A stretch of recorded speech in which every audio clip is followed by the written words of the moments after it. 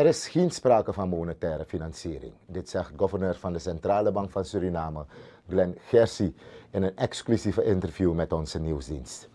Met volle overtuiging zegt Gersi verder dat er juist sprake is van economische stabiliteit, terwijl ook de inflatie aan het dalen is.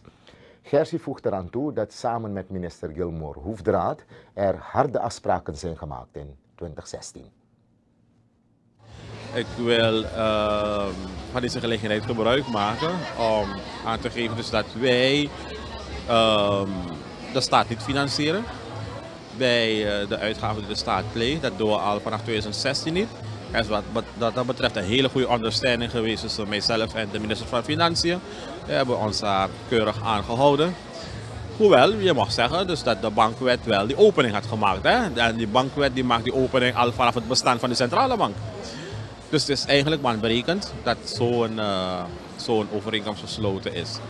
Um, ik denk dat het van belang is dat de gemeenschap weet dat uh, de centrale bank uh, de staat niet financiert bij, bij de uitgaven. En ik denk dus dat het daarom is geweest ook. Het is, ik denk het niet, ik weet het zeker. Dat de bank, um, dat de staat zich begeven heeft naar de algemene banken en ook in het buitenland leningen heeft aangetrokken. Dat brengt wat uitdagingen met zich mee natuurlijk. Um, maar dus het lenen van de staat bij onze banken hier nationaal heeft dus uh, wat je normaal zou krijgen, het e-, normale effect van inflator, inflatorenwerking niet gehad. Vanwege de omstandigheden in het, uh, in het land zelf. Integendeel, de inflatie is gedaald. Ten aanzien van de discussie over het wel of niet monetair financieren, zegt Gersi dat zowel de Vereniging van Economisten in Suriname VES als ook de directeur van de Hakeringbank, Jim Boussaid, vallen over één definitie.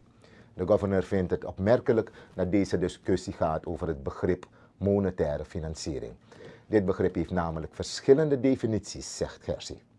Uh, ik vind het uh, een heel opmerkelijke situatie dat men een discussie voert over een definitie. Want de een zegt deze definitie uh, geldt als we praten over monetaire financiering. De ander zegt nou, er zijn nog meer definities waar je rekening mee moet houden. Voor mij is van belang, wat is de uitkomst van het beleid en welke uitdagingen brengt, uh, brengt het beleid met zich mee. Zodat je ook weet hoe je de zaken moet gaan, aanpakken. Uh, het zijn soms uh, gecompliceerde vraagstukken die de gemeenschap best wel in verwarring kunnen brengen. Maar um, ja, als ik een oordeel zou moeten vellen, ik denk dat iedereen gelijk heeft maar, als het gaat om definities. Maar ik, wat van grote belang is, is dat je kijkt naar de uitkomsten van het beleid.